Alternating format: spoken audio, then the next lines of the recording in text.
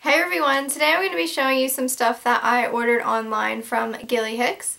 It is the Australian themed um, Abercrombie & Fitch and I'm pretty sure that all the stores are closing or should be closed by now so the website is having a huge sale and I suggest that you check it out because I got some really good deals.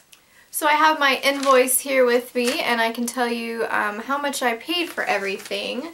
The first thing that I picked up were these mint colored flip-flops and those were $7.98. Pretty good deal. And I got those in an extra small and I wear like a five and a half, six. The next thing that I picked up was just this plain white boy tank and I got a small in that and that was also $7.98. I also picked up this really cute striped shirt and it has um, like an open back with like these crisscross and it scoops down a little bit. I got that in an extra small and I paid $12.48. The next thing is I picked up two long sleeve v-neck sweaters for the winter and they were originally $39.95 and I got both of them on sale for $9.75 so this is a really good deal. And I think the quality is pretty good too. They're really soft. And I just got a navy. And then I got a white one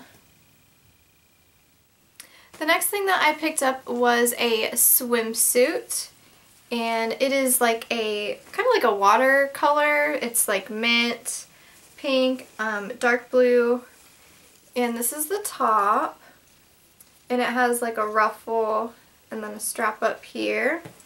And then the bottoms are just a regular bikini bottom. If you can see, they kind of have like a silver sheen shine to them.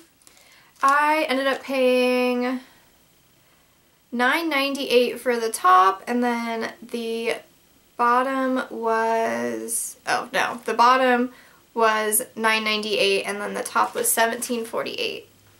The last thing I picked up doesn't fit so I'm going to send it back but I did already go ahead and order an X size up. I did order extra smalls and I needed smalls. It is this um, silky mint and white striped pajama set and it has a little pink on it. It's just like a button-up kind of top. And then the shorts are just the same. I ended up paying $14.98 for the top and then the shorts were $12.48. Not too bad.